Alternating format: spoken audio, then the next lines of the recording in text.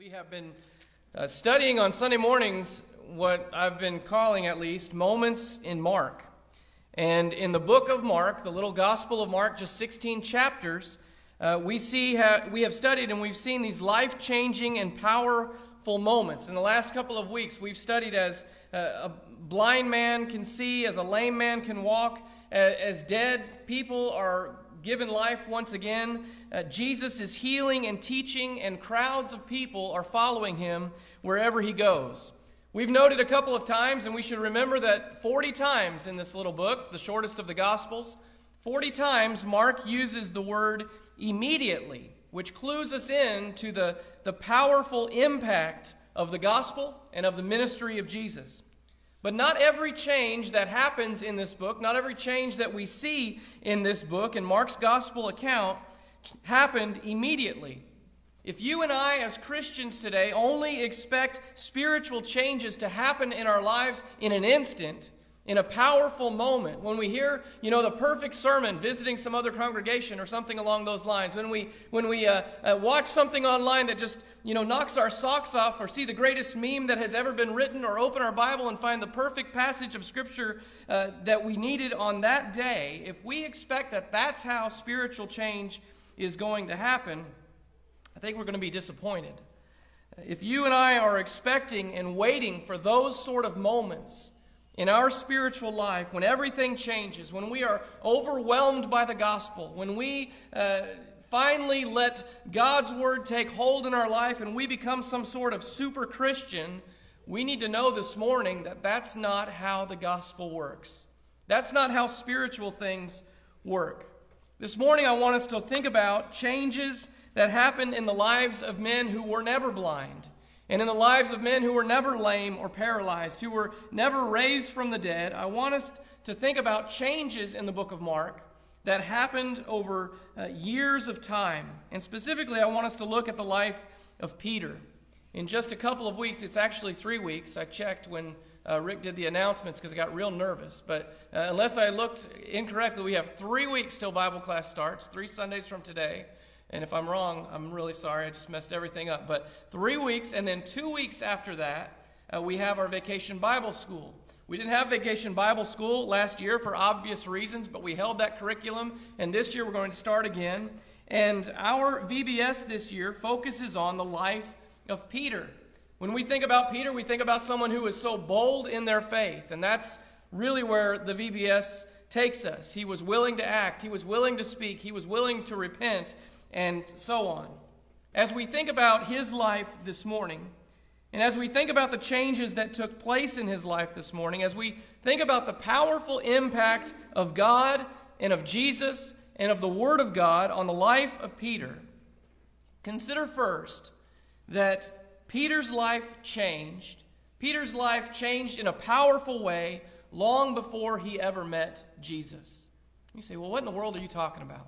Peter's life changed in a powerful way long before he ever met Jesus. In fact, of all the people that we have studied, most of these events in Mark, most of these moments, these unforgettable, powerful moments in the lives of these people, when they came in contact with Jesus, when everything changed, when nothing would ever be the same again, most of these people were greatly influenced by God long before they met Jesus. We don't know everything about Peter's past or his upbringing or his personal life or his, his family, but we do know a few things. We know that Peter's father was named either John or Jonah, depending on the translation that you look at and the manuscripts you look at. In John chapter 1 and verse 42, Jesus says to Peter, You are Simon the son of Jonah, or Simon the son of John. You shall be called Cephas, which is translated Peter. Before he was known as Peter, before Jesus gave him that name, he was known as Simon, and his father's name was Jonah. We know that his brother was Andrew, and it was Andrew, the brother of Peter, who first told him about Jesus being the Messiah. We'll talk a little bit about that more in a minute. We know that Peter was married in Mark chapter 1. Uh, one of the first things we see in that book is that Jesus heals the mother in law, the mother of Peter's wife, uh, of her illness. In 1 Corinthians chapter 9, Paul writes about taking along a believing wife like Cephas or like Peter did as Paul travels on his missionary journeys. We also know that Peter was a fisherman. He was from a family of fishermen. And we know, of course, as obvious as it may sound, we know that Peter was Jewish. And he wasn't just Jewish, it seems that Peter was faithfully and devoutly Jewish.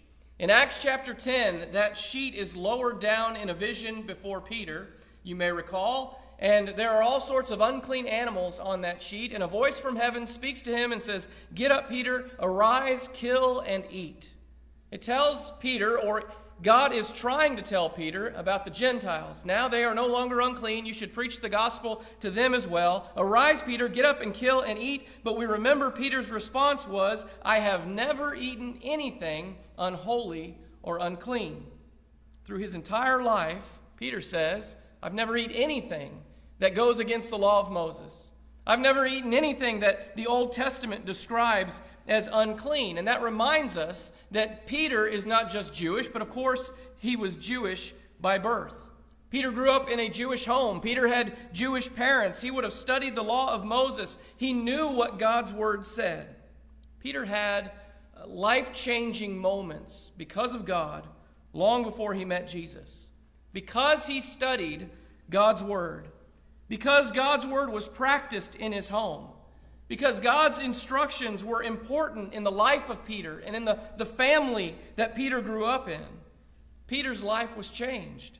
In the Old Testament book of Deuteronomy, Moses instructs the Israelites after they've come out of the land of Egypt and as they're in that wilderness, Moses instructs those people here is how you stay faithful to God. Here is what you need to do in order to remain faithful to God. Here is how you, you keep your family faithful to God. Here is how you'll ultimately be blessed by God, entering into that promised land.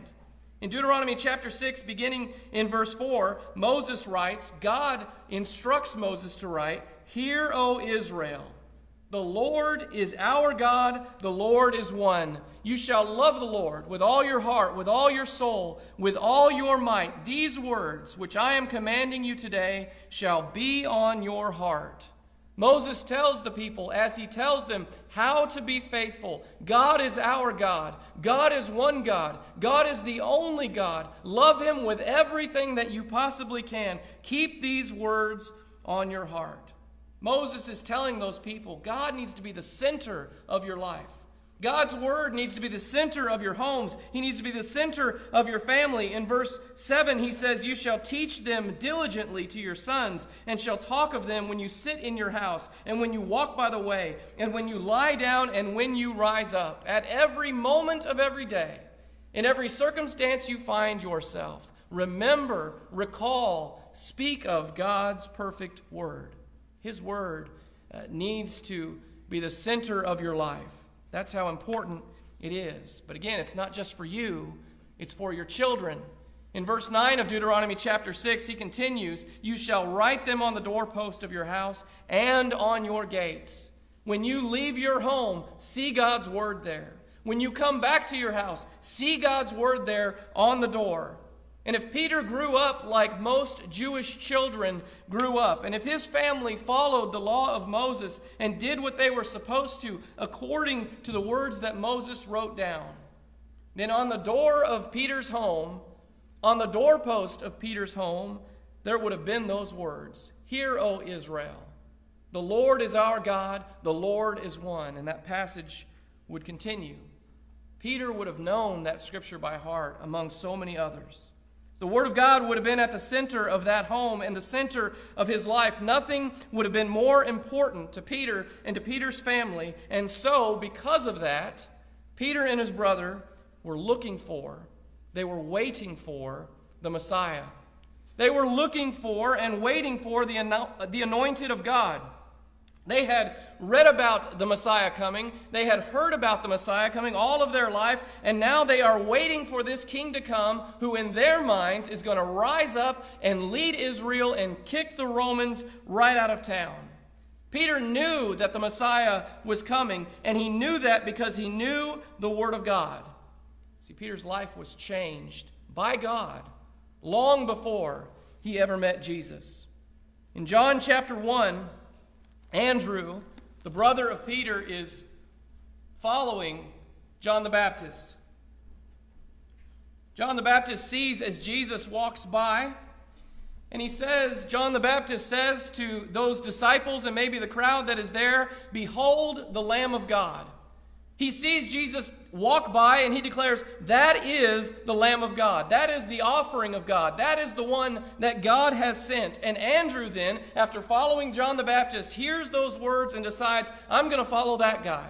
I'm going to start following this one he calls the Lamb of God. And the text tells us that he followed Jesus and he spent the day with Jesus. And then the first thing that he does after that day is over, after hearing Jesus teach, is he goes out and he finds his brother Peter.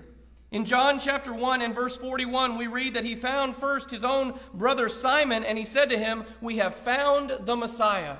He finds his brother after spending that day with Jesus, and he says, We found him. We found the one that we have been looking for. The search is over. The anointed, the Messiah, the one sent by God. We have found what we've been looking for, what we've been waiting for all of these years. And you think, how could that conversation, how could those words make any sense to Peter? If you came up to me today and said, We found him, we found him, I, we've been looking for him all this time, I wouldn't know what you were talking about because we're not looking for anything. But to Peter and Andrew, it made perfect sense because they knew the Word of God, because they knew what God had promised, because they knew what they were looking for. I wonder how we can expect our children to search for God, how we can expect our children to look for Christ. I wonder how we can expect our children to remain faithful to God if the Word of God is not at the center of our homes, if the Word of God is not at the center of our marriages, if the Word of God is not at the center of our families, how can we expect our children, and I'm not sure that we do, how can we expect our children to remain faithful to God and to seek out Jesus and to strive to follow His Word if the Word of God is not at the center of this congregation and of the church that we show them and of our Bible studies and of our sermons and of our lives? How can we expect them to seek out Jesus, to seek out the truth of God's Word, if they don't know the importance of God's Word, if they don't see the power in God's Word, if we don't tell them or they don't know of the promises in God's Word. Peter's life was changed. Peter's life was greatly influenced long before he ever met Jesus. Second, we see that Peter's life was changed while he was just a fisherman. Peter's life was changed while he was still just a fisherman. When we think about Peter, at least when I think about him, I think about the incredible things that happened in his life. It is Peter who stepped out of the boat and walked on water like Jesus walked on water. It was Peter who denied Jesus those three times and then heard that rooster crow. It was Peter who preached the first gospel sermon in Acts chapter 2 Repent and be baptized for the forgiveness of your sins, and you will receive the gift of the Holy Spirit. It was Peter who preached the first gospel sermon to the Gentiles in Acts chapter 10. But the days before Peter met Jesus, I imagine, were much like every other day. The days before he encountered Jesus, before Andrew told him about Jesus, before he saw Jesus and began to follow him, I imagine those days were like every other. He was a normal guy who had a normal job. He was a, a fisherman in a family of fishermen. And the days before he met Jesus were like every other day, working on that boat and, and mending the nets of that boat and casting those nets into the sea. I imagine he would pull those nets in and try to catch as many fish as he could because that was his job. That was his livelihood. He was Simon the fisherman doing what he has done most every day of his life. But in Mark chapter 1, something incredible happens. An incredible change takes place in Mark chapter 1, beginning in verse 16. Speaking of Jesus, the text tells us as he was going along the Sea of Galilee, he saw Simon and Andrew, the brother of Simon, casting a net into the sea, for they were fishermen. And Jesus said to them, Follow me, and I will make you fishers of men. Immediately they left their nets and they followed him. That's when it started. That's when it began. That's when he started to follow Jesus. That's when Peter's life takes this incredible turn. Maybe he grew up like every other little Jewish boy. Maybe on the Sea of Galilee that day, he looked like hundreds of other fishermen to you and I if we were there. But the moment that Jesus said, Follow me, his life took a turn. His life changed forever. The text tells us that immediately, without any pause, without any hesitation, without any delay, Peter and Andrew, those two fishing brothers, left their nets behind and they began to follow Jesus. Now, why did they do that? Why did they follow Jesus on, on such a short invitation? We preach for 45 minutes. Uh, we don't. We preach for 30 minutes, 25 minutes, and we invite people to come and we try to get people to, to, to feel God's word uh, pierce their heart. And here Jesus just says a few words, and these two men leave everything behind and follow. Why do they do that? Nothing miraculous happened. There was no lifelong illness or disease that he healed them of. Why did they follow Jesus? They followed Jesus because they knew the Word of God. They believed that He could be the one. They knew that He was the Messiah. We have found Him. We have found the Christ. Scripture was fresh in their minds and it was on their hearts. And because Jesus not only asked them to follow, He told them that they could become something great. Not just fishermen, but fishers of men. I will make you fishers of men. Jesus is saying to these two brothers, I'm going to change your life. I'm going to change everything about you. I'm going to make you something different, something better, something more important, greatly more important than you are right now, something that you don't yet fully understand. Jesus not only called these men, Jesus gave them hope. It's a moment in the life of Peter among so many other moments that would change who he was forever.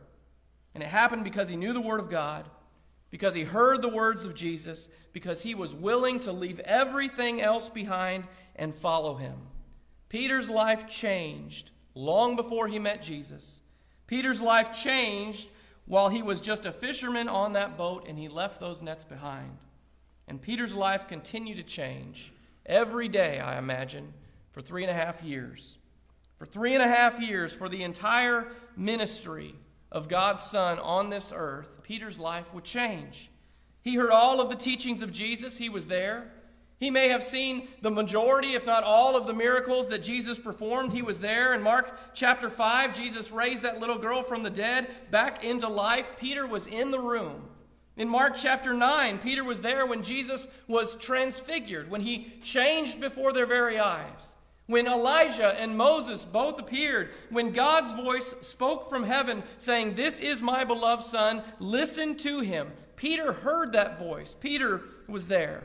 In Mark chapter 14, when they arrested Jesus, uh, when they take him to the courtyard of the high priest and begin that trial, the text tells us that Peter followed at a distance and he watched as those events unfolded, warming his hands by the fire. Peter was there. And when the tomb was found empty by those ladies on Sunday morning, when they ran back to let the disciples know, Peter and John ran as fast as they could to that tomb. John was kind enough to record for us that, that he beat Peter in that race. He made it there first. John gets to the tomb. He looks inside and he sees the body is not there. Peter gets there. He doesn't look inside. He jumps right in. He stands inside that empty tomb. He sees the linens over there. He sees the cloth that covered his face over there. He's standing there. He knows for certainty that that tomb is empty. For Peter, those three and a half years of the ministry of Jesus were filled with powerful and unforgettable and life changing moments. We know that his faith had good days and bad days. At times, he was incredibly bold, and at other times, he was incredibly scared. But it wasn't just one powerful moment that changed his life, it was a lifetime of moments. See, throughout the book of Mark, we've seen these moments, we've talked about them, we've thought about these moments and times when people's lives are dramatically changed and changed forever when they have this incredible encounter with the Son of God and they, they are there with God in the flesh and they experience something that they could never possibly forget. But when we look at the life of Peter, a fisherman on the Sea of Galilee, a man who didn't need a miraculous healing, I think we see someone who could be just like any one of us. A kid who grew up studying the Word of God in his house a child who grew up with the Word of God at the center of his life, a fisherman, who was like every other man on that sea, who heard Jesus call, who decided to leave everything behind and follow him. When we think about Peter, when we look at Peter, we see a disciple whose faith and whose trust in God had some good days, had some bad days, who knew for a fact how powerful Jesus was, and who had no question, no doubt that this was in fact the Son of God. When we think about Peter, I think we see something in someone that all of us can be. People who hear the Word of God, people who believe the Word of God, people who answer the call to follow Jesus, people who witness the power of Jesus demonstrated in the pages of Scripture over and over again. People whose faith and whose trust in God might have great days where we feel like we are on top of the world and cannot be touched by sin, and then we have those other days when maybe our faith is a little weaker. People whose lives are changed, not in some miraculous, powerful moment that will never be forgotten, but over a lifetime of faithful living. People who see hope in Jesus. Even though Peter was there, as Jesus healed and fed and taught thousands of people. And even though Peter was there, literally standing inside that empty tomb, I don't think Peter believed any more than I believe that Jesus is the Son of God. I don't think Peter believed any more than I believe that Jesus rose from that grave on the third day. We have everything that we need to know everything that Peter knew. See, don't wait for some powerful, miraculous, life changing moment in your life. Make God's Word the center of your life today. Make God's Word the center of your home. Make God's Word the center of your marriage. Allow God's Word to change you, powerfully change who you are and how you live your life. Not just to change, though, your physical life, but to change your eternal life as well. This morning we offer the invitation to anyone who might need to respond. If you've never obeyed the gospel, we invite you to do that today. We invite you to make that change in your life. The Bible teaches that if you hear the Word of God and you believe it, if you are willing to repent of sin in your life and confess the name of Jesus before men, confess that you believe all of the same things that Peter believes, you can go down into the waters of baptism and have your sins washed away. There is not a more powerful moment that could ever take place. If you haven't done that, we'd invite you to do that today. Maybe you have been baptized, but you have sin in your life. Maybe that sin is public in nature and would demand a public repentance. If that's the case, we want to pray with you. We want to pray for you. We don't want you to leave here carrying that burden of sin and separation from God. Maybe you just need the prayers of this congregation while we're gathered here today for encouragement or for some other reason. Whatever your need might be, we invite you to come, make it known while together we stand while we sing this invitation song.